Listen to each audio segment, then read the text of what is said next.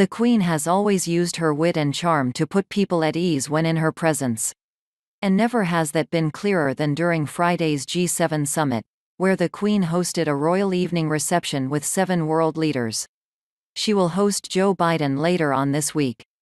The Queen may still be mourning the death of her late husband, Prince Philip, who passed away last month, but Her Majesty proved she's not lost her sense of humor by sharing a joke with the world leaders. She drew laughter from her guests as she chided them during a group photo session. Are you supposed to be looking as if you're enjoying yourself? To which the UK's Prime Minister replied, Yes, we have been enjoying ourselves. Earlier on in the day, the Queen could be seen sharing a giggle with the Duchess of Cambridge and the Duchess of Cornwall as she ignored advice and insisted on using a ceremonial sword to cut cake. The three royals were meeting local volunteers of the Cornish community to recognise their support for each other during the COVID 19 pandemic. The Queen was presented with a giant cake to mark her official birthday and opted to use a huge sword to cut it, as opposed to a knife.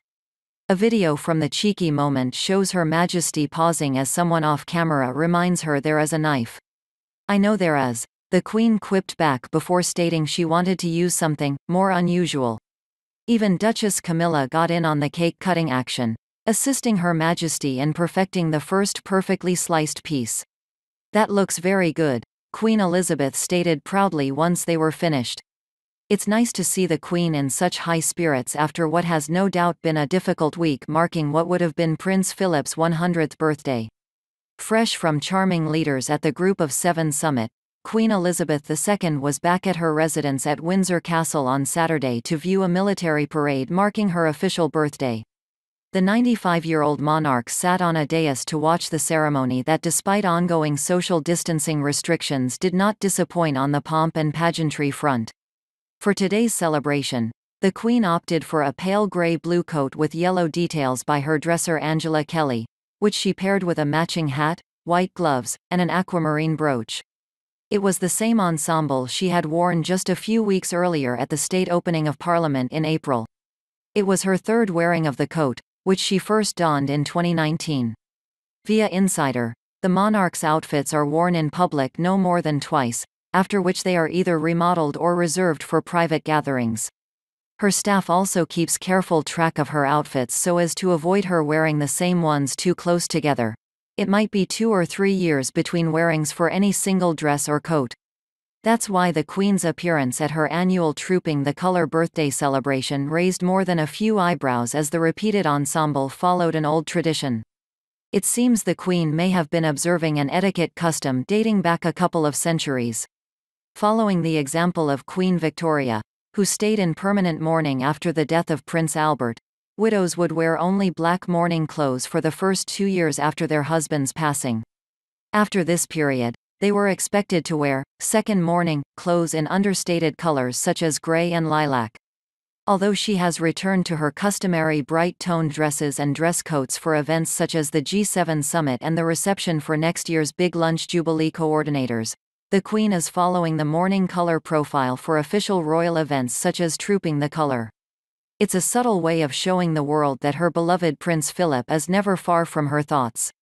Having lived through such historical lean times as World War II, Elizabeth is also a thrifty woman, so she may have preferred not to go to the expense of commissioning a special muted color coat solely for her birthday parade. If she was tired after meeting G7 leaders, including President Joe Biden, on Friday evening, it didn't show. She was seen beaming from ear to ear as the nine planes of the Royal Air Force's Red Arrows flew past in formation and let loose their red, white and blue smoke. One of the major parts of the Queen's official birthday is her award of honors to those deemed to have made a positive contribution to society. The traditional Trooping the Colour ceremony is normally staged in London and features hundreds of servicemen and women and thousands of spectators. However, for the second year running that was not possible and it was a slimmed-down affair in the grounds of Windsor Castle, which is around 27 miles west of the capital. Dubbed a mini Trooping the Colour, it featured soldiers in ceremonial scarlet coats and bearskin hats. The servicemen and women on parade numbered almost 275, with 70 horses, compared with the 85 soldiers who took part in the ceremony last summer. A handful of seated guests lined part of the quadrangle, a change from last year when only the military was present. The ceremony originated from traditional preparations for battle. The colors, or flags, were trooped, or carried down the lines of soldiers, so they could be seen and recognized in battle. President Biden and First Lady Jill Biden will share afternoon tea with Queen Elizabeth II at Windsor Castle on Sunday. The Queen is a fantastic supporter of horse racing. And Queen's horse wins poignant race on date of Prince Philip's 100th birthday.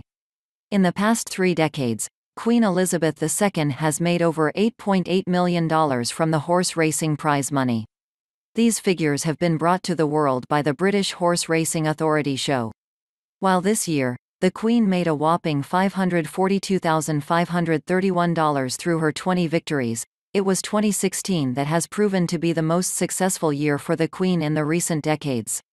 Last year, the monarch made a total of $731,413. Lady Louise Windsor is a keen horse rider and carriage driver and she is set to show off her talents at next month's Royal Windsor Horse Show.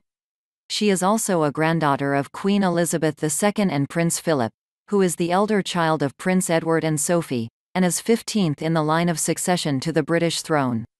In a report written by the Daily Mail's John Eden, he revealed that she would be one of the competitors at the four-day event.